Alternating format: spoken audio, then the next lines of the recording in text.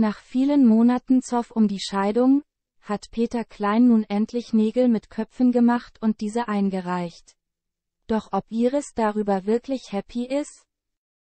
Einst waren sie ein Herz und eine Seele, doch mittlerweile gehen Iris und Peter Klein lieber getrennte Wege.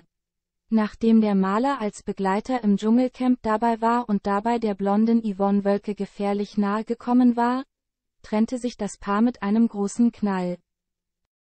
Iris konnte es danach gar nicht erwarten endlich geschieden zu werden, doch Peter ließ auf sich warten. Bis jetzt, denn laut Bildinformationen soll er nun die Papiere endlich eingereicht haben. Allerdings anders als erwartet.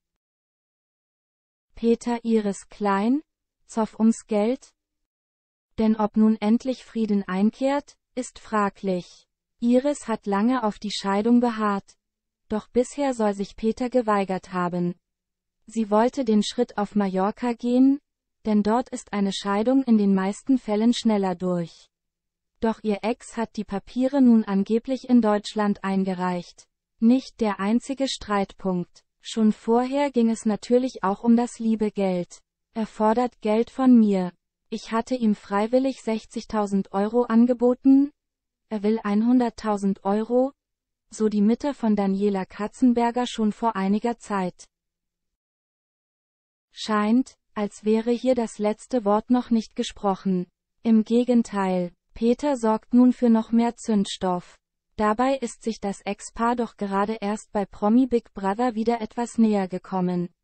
Haben sogar geplant, sich nach der Show wiederzusehen.